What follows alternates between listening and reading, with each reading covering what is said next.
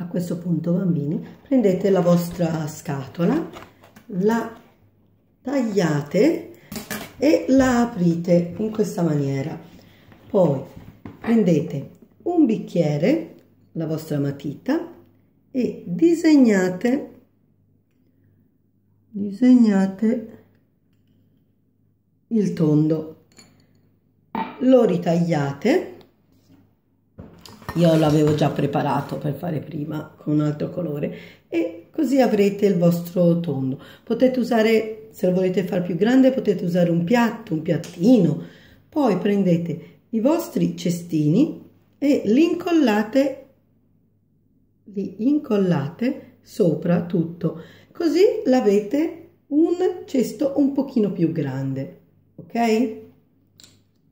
Questo ci servirà come eh, segnaposto si può fare tanti, tanti se ne può fare diversi come segnaposto come centro tavola.